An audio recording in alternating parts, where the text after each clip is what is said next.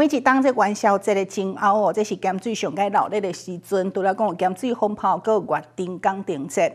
咸水公司为着要互来个咸水游客有更较多元这旅游选择，每一当拢会伫信义路边啊来种花，互咱民众欣赏着定节以外，下在时阵搁会当来欣赏这沿途花海美丽风景。目前已经有先开的，就是波斯菊，陆续搁有其他的花种会来开花，欢迎那边就会当前往来感受这个春天的气息。一蕊一蕊粉红色花随风摇摆，有粉色也有白色。这是咸水县路边仔的花海。为了配合活定港灯节，咸水区公所希望互民众伫透早也有美景会当欣赏，因此甲花农做伙合作栽种波斯菊、百日草、甲向日葵。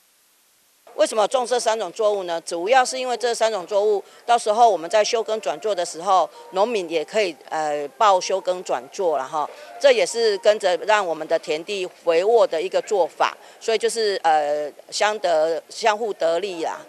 今年因为天气的关系，每一种花种开花的速度拢无同。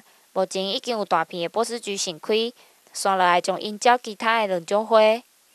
我们今年的花海里面呢，我们特别做了几个的装置艺术。然后这些的装置艺术呢，我们是用学校的课桌椅，就是把坏掉的课桌椅，我们把它修理好，然后把它彩绘放在我们的花海里。